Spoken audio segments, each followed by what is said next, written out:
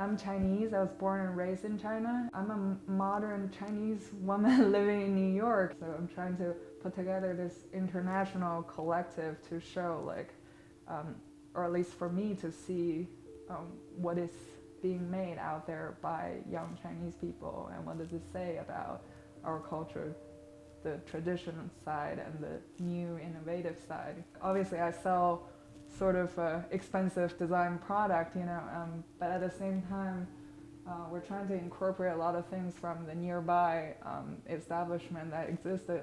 Lower East Side is like a very particular set of vocabulary. Like a lot of my things, like the way my shop is set up, uh, it's not like really, really polished, um, like high end, like other uh, design store that you normally see, but there's just a lot of very cultural details that make sense.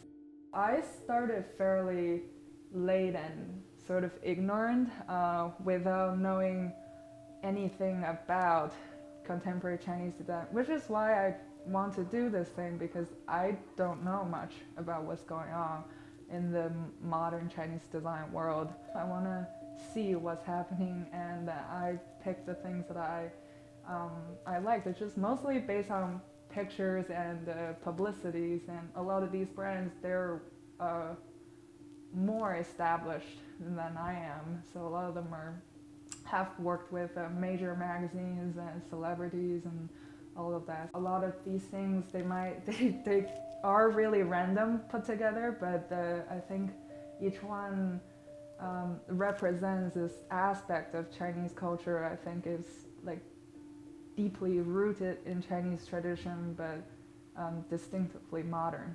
That's the whole um, idea that we're going for.